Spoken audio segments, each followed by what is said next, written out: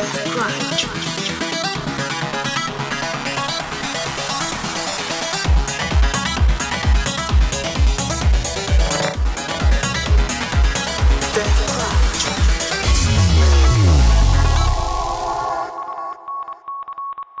TechCrunch. We're here with Martin Stiksel, currently of Lumi, but probably best known to you as Last.fm.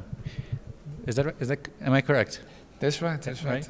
And so, since we're a startup conference, and I'm pretty sure that quite a few people still don't know what Lumi is. Do you have an elevator pitch for Lumi?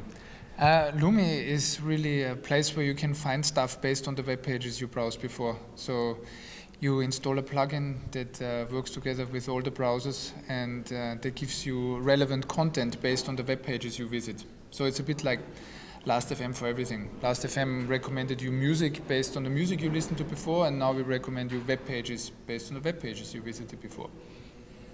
So sounds great. So do, do you think this recommendation thing in general is going uh, is going to be, going to be big in the nearest future?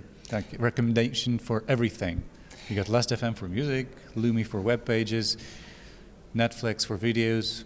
The great thing is that uh, a web page can be anything, right? It could be a news article, it could be a video, but it also could be a, a film page on IMDb or a product page on Amazon or you know the list is endless or a Kickstarter project or anything you would like. But we think that recommendation is totally crucial because like Google doesn't really solve the problem of recommendation. It gives you an empty search box if you don't yeah. know what you're looking for you know, you need to make up your own mind. And social networks are very noisy. The more people you follow, um, the more content is coming your way, and then you still need to do all the work of filtering out the stuff that is interesting for you. So, you know, just lean back and enjoy the web um, is not really happening.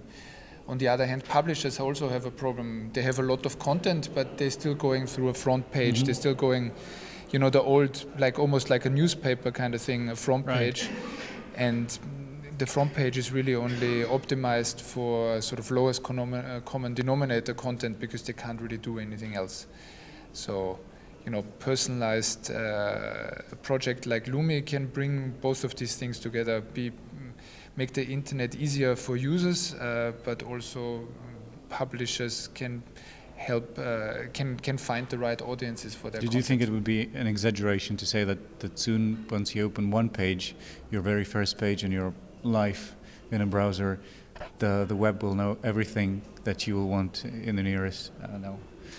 That would be great. I mean, that's like uh, what Lumi's vision is. No, we started with like, hey, we've been browsing the internet for 10, 12 years, and still the browser welcomes us with an empty page, with an empty search box, with an empty address bar.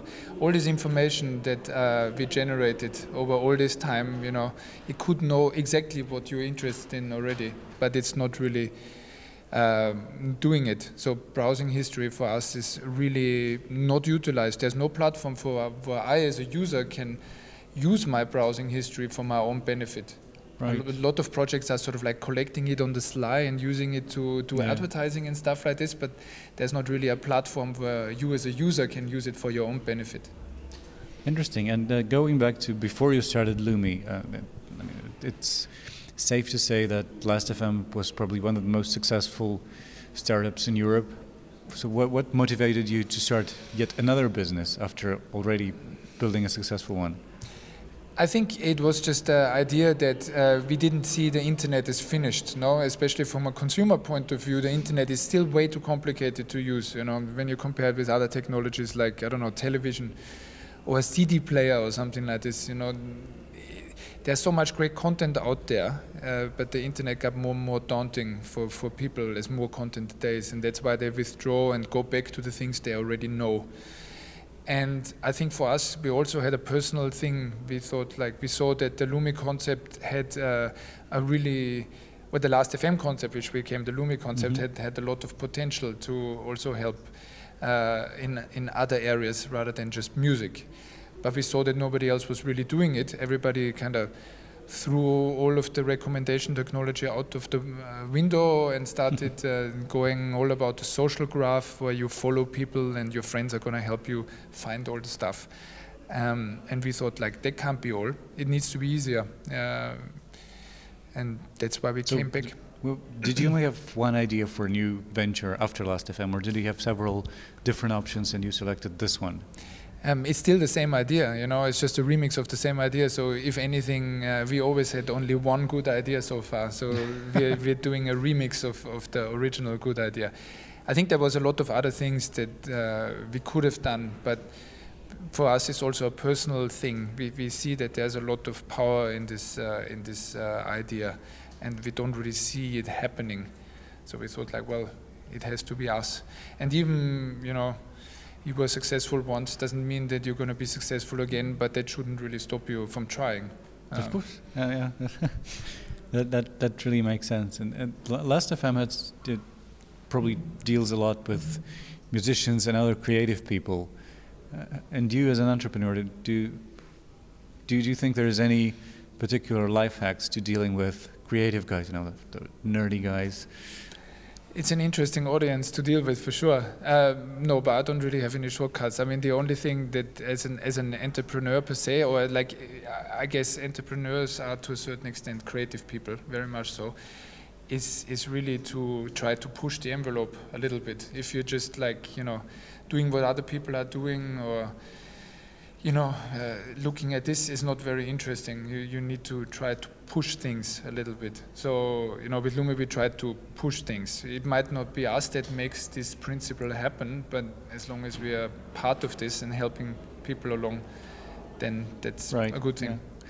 And did, uh, when you were starting Last.fm, what was the, the main motivator for you? Was it your love for, for music or was it more of a love for recommendations? I think the recommendation for us, I, I, was personally, I was a music journalist previously to starting uh, Last FM, so I always took great joy in like introducing great new music to people. Um, but I saw that what I recommended uh, was not always to everybody's liking. so Last FM in a way was built so I could, we could like recommend music to all sorts of different people, uh, and there was not a question of taste because I didn't really think that I was somebody special per se. I just thought like everybody should be able to find their own thing uh, out of this uh, massive amount of music that there was out there. So if anything, it was always an enthusiasm to introduce new things to people, um, but trying to scale this with the help of technology to to areas where I personally don't have a clue about, like I don't know, kayaking or I don't know stuff like this. That, that's that's a great thing to be able to do. So, what's your favorite music? Um, it depends. There's a lot of different things. You need to look at my Last.fm profile actually to find out what I like. But Last.fm really opened the horizon for me as far as music is concerned. I mean, the internet is really one of the best things that happened to music fans, uh, I believe, because all this music became available. But then Absolutely. obviously this the difficulty with lots of availability comes the burden of choice. You actually need to try to find what is interesting for you so that, you know, but we hope that the similar thing is true with Lumi, that it can expose you and really widen your horizon and try to help you find a lot of things or find out much more about the things that interest you.